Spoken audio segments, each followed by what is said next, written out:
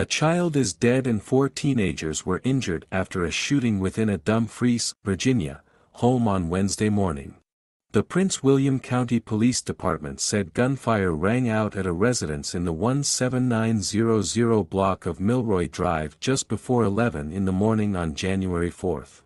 At a news briefing on January 4 afternoon, Deputy Chief of Police Lieutenant Colonel Jared Phelps said officers found five people who had been shot. One of them, a three-year-old girl, died at the scene.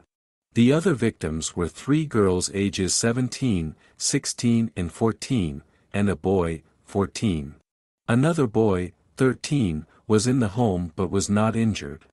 The four victims were taken to the hospital with serious, life-threatening injuries, a Prince William County Police news release said. The girls, including the three-year-old who died, and the 13-year-old boy, are siblings. The 14-year-old boy is not related to the other victims. All of them live at the house.